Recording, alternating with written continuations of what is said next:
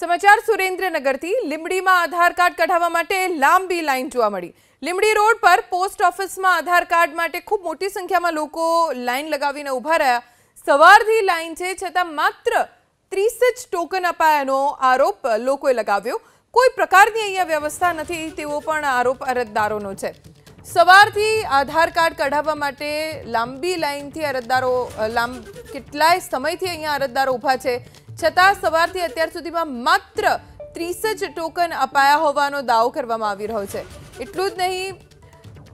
બાળકો સાથે કેટલાક અ, લોકો આવ્યા છે આધાર કાર્ડ કઢાવવા માટે તો અહીંયા ઊભા રહેવાની બેસવાની કોઈ પ્રકારની વ્યવસ્થા પણ નથી કરવામાં આવી લીંબડી રોડ પર પોસ્ટ ઓફિસમાં આધાર કાર્ડ માટે ખૂબ મોટી સંખ્યામાં લોકો લાઈન લગાવીને ઊભા રહ્યા સવારથી લાઈન છે છતાં માત્ર ત્રીસ જ ટોકન અપાયાનો આરોપ લોકોએ લગાવ્યો કોઈ પ્રકારની અહીંયા વ્યવસ્થા નથી તેવો પણ આરોપ અરજદારોનો છે સવારથી આધાર કાર્ડ કઢાવવા માટે લાંબી લાઈનથી અરજદારો અ, લાંબ કેટલાય સમયથી અહીંયા અરજદારો ઊભા છે છતાં સવારથી અત્યાર સુધીમાં માત્ર